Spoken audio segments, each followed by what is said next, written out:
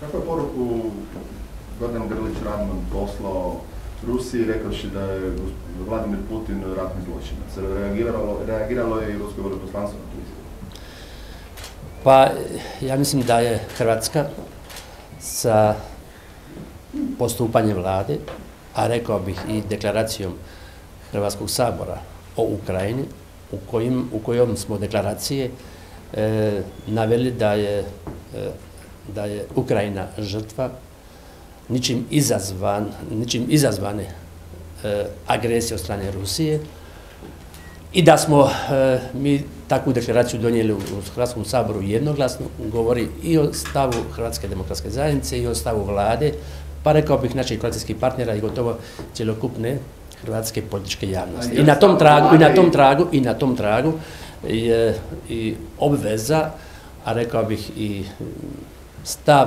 svih dužnosnika i u vladi i u Hrvatskom saboru, u Hrvatskoj politici, da je to okvir u kojemu govorimo da je Rusija agresor na Ukrajinu. To je naš stav. To da je Putin ratni zločinac službeni stav Hrvatske.